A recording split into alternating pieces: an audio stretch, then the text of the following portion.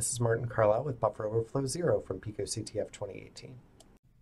Let's start off simple. Can you overflow the right buffer in this program to get the flag? Okay, well here is the source code of the program which has been provided to us. And it looks like it's going to take a command line argument, so something passed into the program on the command line, send it to vuln, and then copy it into a buffer that is 16 big. And the hint tells us that we might want to try to add a few more characters because there might be some things that I'm not expecting after the buffer that I need to get past. All right, so we'll come over here to the shell.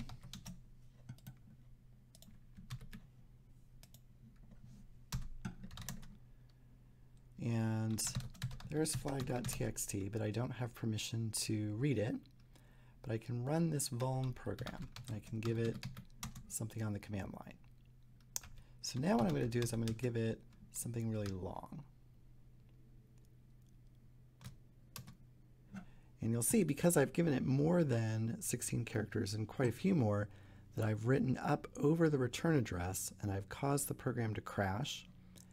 And in the source code, when the program crashes, it's going to print out the flag to the screen.